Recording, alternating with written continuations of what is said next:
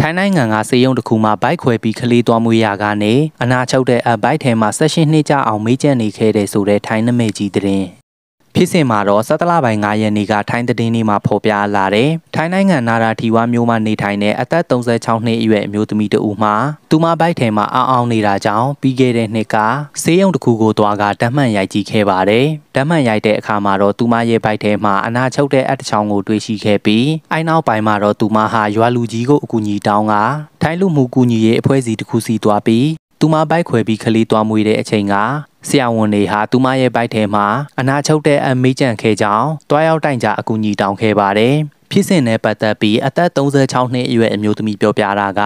လွန်ခဲ့တဲ့18နှစ်အရင်ကသူမဟာသူမရဲ့တာကြီးကိုကိုဝင်ဆောင်ခဲ့ရပြီးနာရာထီဝါမျိုးမှရှိတဲ့စေယုံတစ်ခုမှာခွဲပြီးမိဖွာခဲ့တဲ့အဲ့တုန်းကသူမခွဲပြီးခလေးမိဖွာနေတဲ့အချိန်မှာတတိရှိနေခဲ့ပြီး အဲအချိန်မှာခွဲစိတ်မှုပြုလုပ်နေတဲ့နတ်စမတွေထဲကတယောက်မှသူမရဲ့မွေလန်းချောင်းထဲကိုအပြုတ်ကျသွားပြီလို့သူတို့အချင်းချင်းပြောနေတဲ့အတန်ကိုသူမကြားလိုက်ပါတယ်။ ပြီးတော့ဆရာဝန်တဦးမှကျသွားတဲ့အကိုရှာဖို့အတွက်သူမရဲ့မွေလန်းချောင်းထဲကိုလက်နဲ့နှိုက်ပြီးရှာဖွေနေတဲ့အချိန်ကိုသူမသတိရှိခဲ့ပြီးအဲအချိန်ကသူမစိတ်ထင်ဆရာဝန်တွေဟာပြုတ်ကျသွားတဲ့အကိုပြန်ယူထုတ်လိုက်ပြီလို့ပဲထင်ခဲ့ပါတယ်။အဲ့လိုနဲ့သူမစေယုံကဆင်းပြီး၃လေးနှစ်ကြာပြီးတဲ့နောက်မှာတော့သူမဘိုက်ဟာစပြီးအောင်းအောင်းလာခဲ့တယ်။အဲအချိန်ကသူမစိတ်ထင်အစာအိမ်ထားတယ်ဒါမှမဟုတ်အစာမှားလို့အောင်းတယ်လို့ထင်ခဲ့ပြီးအဲ့လိုနဲ့နေလာရင်သူမဟာနောက်ထပ်ကလေးနှစ်ယောက်ကိုလည်းမိဖွာခဲ့ပါတယ်။ ဒီလိုနဲ့ပဲ၁၈နှစ်ကြာသွားပြီးတဲ့နောက်မှာတော့ဘိုင်းအောင်တဲ့ယောဂကပို့ပို့ပြီးဆိုးလာတာကြောင့်ပြီးခဲ့တဲ့နှစ်ကသူမဟာ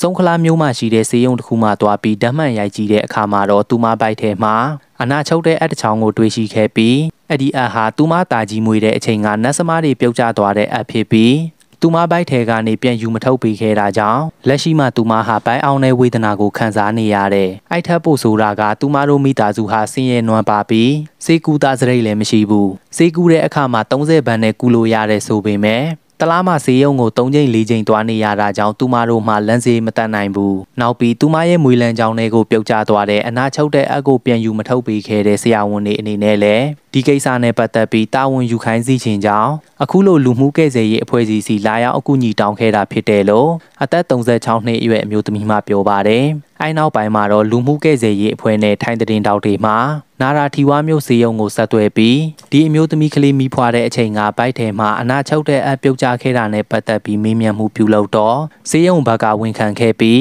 နောက်ပြီးဆရာဝန်တွေပြောတာကအဲ့တုန်းကလူနာကိုရော်ကြီးလဲပေးခဲ့တယ်။သူတို့ကြောင့်အခုလိုဖြစ်သွားတဲ့အတွက်တာဝန်ယူပြီးခွဲစိတ်ကူတာမှုပြုလုပ်ပေးမယ်လို့ပြောခဲ့ပေမဲ့လူနာဘက်ကခွဲစိတ်ကူတာမှုကိုလက်မခံခဲ့ဘူးလို့ဆရာဝန်တွေမှပြောပါတယ်။လက်ရှိထိုင်းသတင်းမှပြောတာကတော့အခုလိုလူနာရဲ့ဘိုက်ထဲမှာအနာချုပ်တဲ့အမေးကြံတာပဲဖြစ်ဖြစ်ခွဲစိတ်မှုပြုလုပ်တဲ့ကရိယာတစ်ခုခုမေးကြံတာပဲဖြစ်ဖြစ်ဆေးရုံနဲ့ဆရာဝန်တွေဘက်ကတာဝန်အပြည့်ရှိပြီးဒီကိစ္စနဲ့ပတ်သက်ပြီးသိကြမှုရှိအောင်လူနာကိုဆက်လက်စစ်ဆေးမှုတွေပြုလုပ်ပြီးတာဝန်ရှိသူတွေကိုအရေးယူဆောင်ရွက်မှုပြုလုပ်သွားမှာဖြစ်တယ်လို့ထိုင်းသတင်းမှပြောပါတယ်။